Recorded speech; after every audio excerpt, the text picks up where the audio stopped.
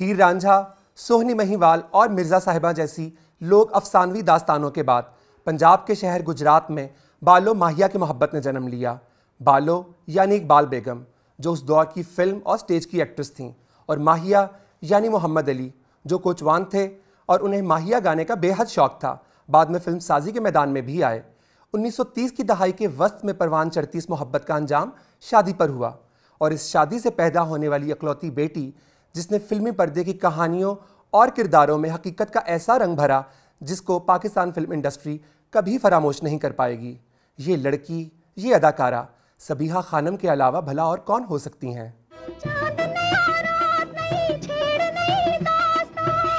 और अगर छुप कर प्यार करना हो तो अपनी पायल को उतार के बस्ती के कुएँ में फेंक दे। सितारों तुम तो सो जाओ परेशान नहीं हम आपको फीकी लस्सी नहीं पीने देंगे। अच्छा। Hello and welcome back to our channel ए के बज आप देख रहे हैं थ्रो बैक थर्सडे और आज हम बात करेंगे फ़िल्म स्टार सबिहा खानम के बारे में। सबिहा खानम जिन्हें फ़िल्म बीनों की तरफ़ से हुस्न की देवी हरफन मौला और मलिका हुस्न जैसे अलकाबात के साथ साथ पाकिस्तान की फिल्मी सनत की खातून अव्वल होने का एजाज़ भी हासिल है। यानी the first lady of Pakistani cinema.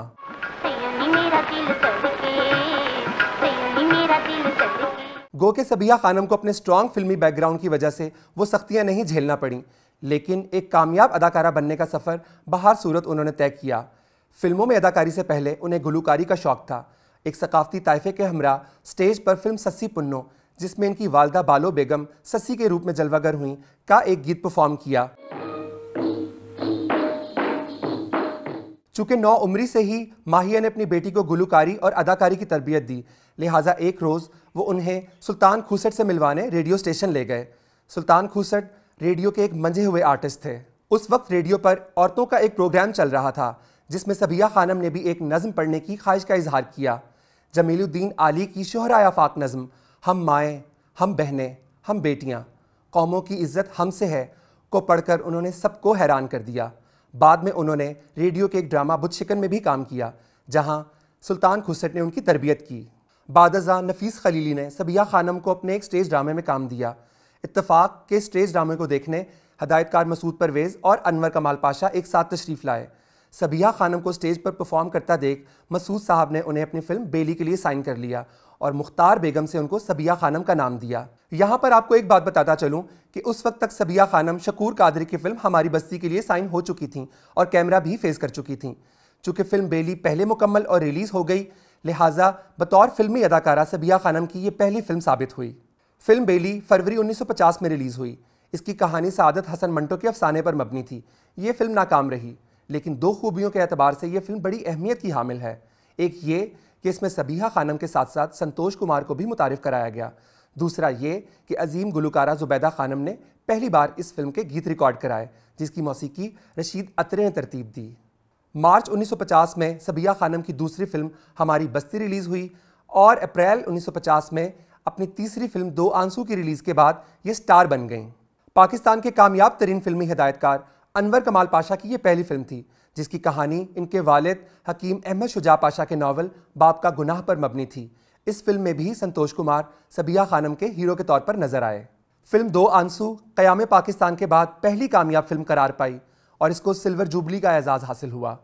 फिर 1951 में फ़िल्म गैरत और फ़िल्म पिंजरा 1953 में बरखा, गुलाम, सैलाब और आगोश।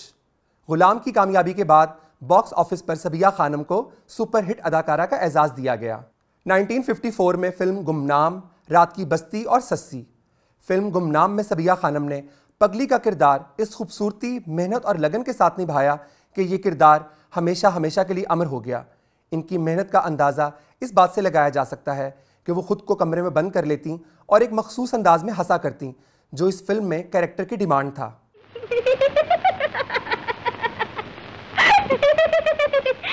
जब लोगों को उसकी बातें समझ नहीं आती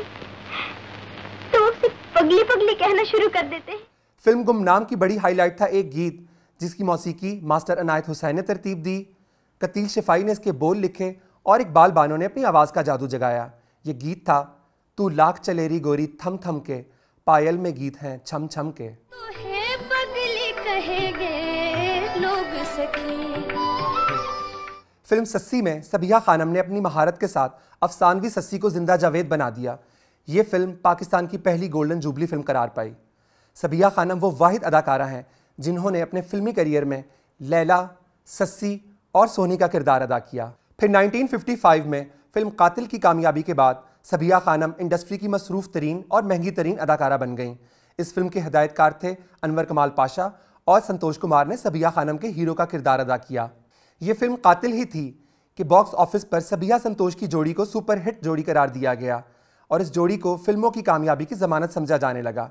इस फ़िल्म की बड़ी हाईलाइट था एक गीत जिसमें मास्टर अनायत हुसैन कतील शफाई और इकबाल बानो का ट्रियो फिर से सामने आया। ये गीत था उल्फत की नई मंजिल को चला तू बाहें डाल के बाहों में। दिल तोड़ने वाले देख के चल हम भी तो और कौसर परवीन का गाया हुआ यादगार गीत ना जाने क्या हो गया कहाँ दिल खो गया ओ मैना। मैना फिर हर गुजरते साल के साथ सबिया खानम की कामयाब फ़िल्मों की फहरिस्त में इजाफा होता चला गया जिनमें बिलतरतीब दुल्ला भट्टी जो पाकिस्तान की पहली एक्शन ब्लॉकबस्टर फ़िल्म थी इसकी आमदनी से एवेन्यू स्टूडियो तामीर हुआ। फ़िल्म दुल्ला भट्टी की बड़ी हाईलाइट था इसका एक गीत जिसे मुनवर सुल्ताना ने गाया। इसके बोल थे वास्ता ही रबदा तू जावी वे कबूतरा चिट्ठी मेरे ढोल नु पुचावी वे कबूतरा।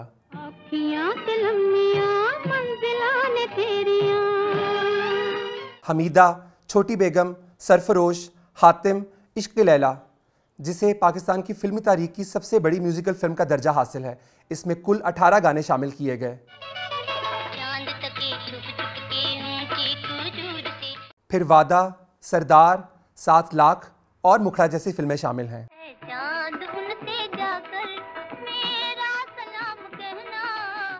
फ़िल्म वादा की अक्सबंदी के दौरान सबिहा और संतोष शादी का फैसला कर चुके थे और उन्नीस सौ अट्ठावन में फ़िल्म मुखड़ा की कामयाबी के बाद दोनों ने शादी कर ली।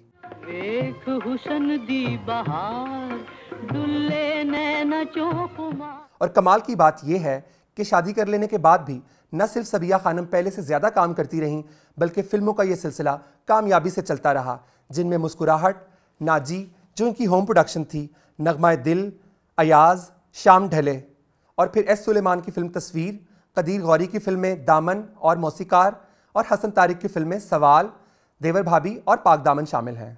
फ़िल्म पाक दामन 1969 में रिलीज़ हुई। ये फ़िल्म सबिया खानम की बतौर हीरोइन आखिरी फ़िल्म थी। इस फ़िल्म में सबिया खानम ने बैक वक्त दो किरदार अदा किए, एक ईस्टर्न लड़की का, दूसरा वेस्टर्न लड़की का। ये पहली पाकिस्तानी फ़िल्म थी जिसमें किसी अदाकारा ने लेंसेज का इस्तेमाल किया।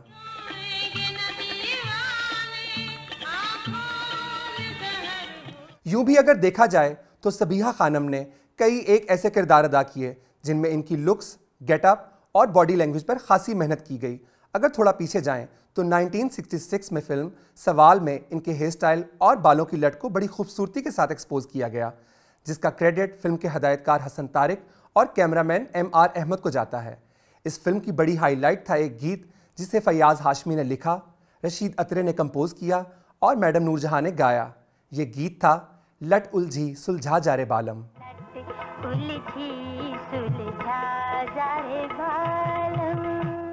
इससे पीछे जाएँ तो 1963 में फ़िल्म शिकवा की यंग टू ओल्ड वाली लुक्स पर भी खासी मेहनत की गई। इस फ़िल्म पर सबिया खानम को बेहतरीन अदाकारा का निगार अवार्ड भी मिला। और अगर इससे भी पीछे जाएँ तो 1957 में फ़िल्म सात लाख में एक फैशनेबल अमीर जादी वाले गेटअप पर भी खासी तवज्जो दी गई। इस फ़िल्म में सबिया खानम की स्टाइलिंग के लिए बैरून मुल्क से स्टाइलिस्ट की खिदमात हासिल की गईं और इस फ़िल्म पर भी सबिया खानम को निगार अवार्ड मिला।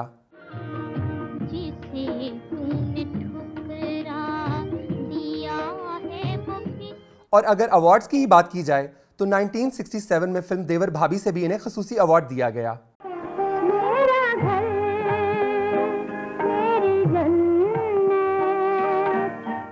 1970 में हसन तारिक की फ़िल्म अंजुमन की कामयाबी के बाद सबिया खानम ने बड़ी ग्रेस के साथ खुद को कैरेक्टर एक्ट्रेस के सांचे में ढाल लिया और एक नई इनिंग का आगाज़ किया। फिर 1975 में हसन तारिक की ही एक फ़िल्म, एक गुना और सही में अपनी शानदार परफॉर्मेंस से उन्होंने बता दिया कि वो किस पाए की अदाकारा हैं। ये फ़िल्म सादत हसन मंटो के अफसाने, मम्मी पर मबनी थी। मम्मी का ये किरदार सबिया खानम के फिल्मी करियर का निचोड़ है।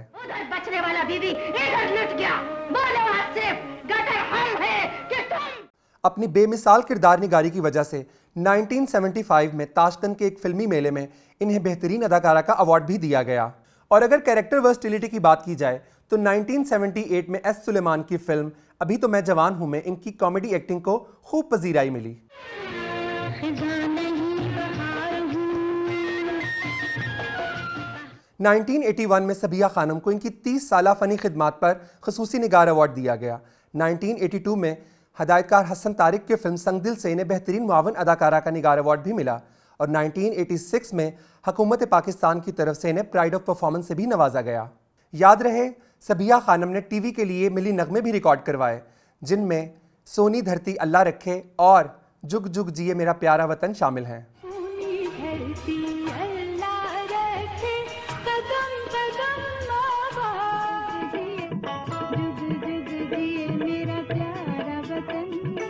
और टेलीविज़न की तारीख के मेगा सीरियल दश्त में भी अपनी अदाकारी के जौहर दिखाए। सबिहा खानम ने तकरीबन पाँच दहाइयों तक काम किया। इनकी आखिरी फ़िल्म 1997 में रिलीज़ हुई, जिसे अनवर कमाल पाशा के बेटे मोहम्मद कमाल पाशा ने डायरेक्ट किया। फ़िल्म का नाम था मत जीने नहीं देते। इस फ़िल्म में राहत फ़तेह अली खान ने बतौर प्लेबैक सिंगर अपना पहला गीत रिकॉर्ड करवाया। सबिहा खानम ने तहजीब और वक़ार के साथ काम करके न सिर्फ़ एक मिसाल कायम कर दी बल्कि संतोष कुमार के साथ अपनी फिल्मी जोड़ी को हकीकी जोड़ी बनाकर एक वफाशार बीवी होने का भी हक अदा कर दिया। हम दुआ करते हैं कि अल्लाह ताला सबिया खानम को जन्नतुल फिरदौस में बुलंद मकाम दें। आमीन। व्यूवर्स हम उम्मीद करते हैं कि सबिया खानम पर हमारा ये ट्रिब्यूट आपको पसंद आया होगा। मजीद इस तरह की वीडियोस देखने के लिए चैनल को सब्सक्राइब करें। Thank you for watching this video. अल्लाह हाफिज़। Thank you.